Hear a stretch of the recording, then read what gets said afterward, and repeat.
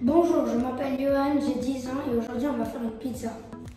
Pour faire votre pizza, il vous faudra de la farine de blé et de la farine de sarrasin, de la levure de boulangère, de la sauce tomate, des arbres de Provence, du gruyère râpé ou de la mozzarella râpée, des feuilles de basilic, des dés de jambon, des champignons, des rondelles de tomates, de l'huile d'olive, du sel, de l'eau et du sucre.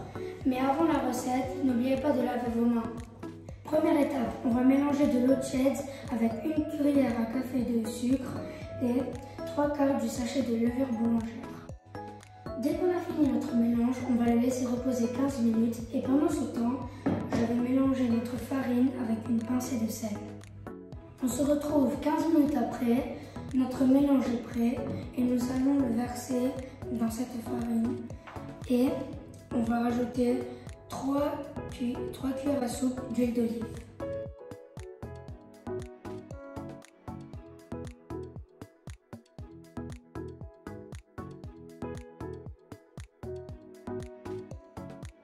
La prochaine étape est de malaxer notre pâte pour qu'elle devienne lisse et homogène. Une fois que notre pâte est lisse et homogène, on forme une boule qu'on va laisser reposer 30 minutes environ pour qu'elle puisse doubler de volume. Et on se retrouve tout à l'heure. Une fois que notre pâte a gonflé, on va l'étaler sur un plan fariné à, l'aide d'un rouleau à pâtisserie.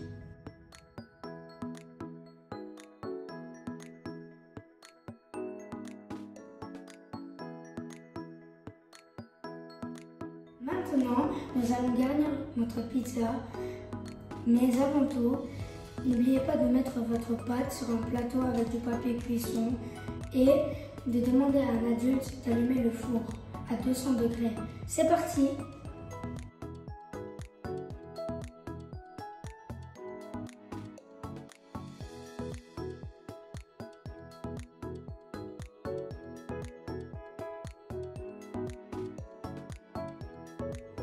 Maintenant, je vais mettre les rondelles de tomates.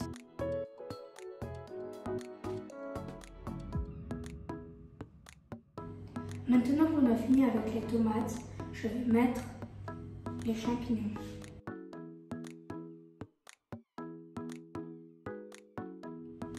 Maintenant qu'on a fini avec les champignons, je vais mettre les dés de jambon. Maintenant qu'on a fini avec les jambons, je vais mettre les feuilles de basilic.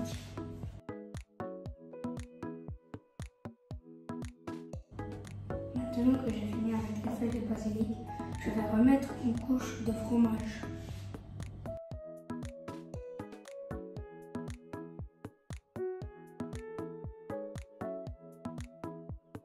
Maintenant que nous avons fini avec le fromage, je vais mettre de l'herbe de Provence.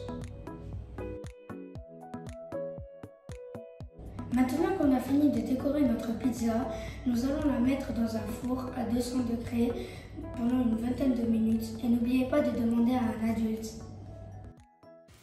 Ça sent bon. Au revoir.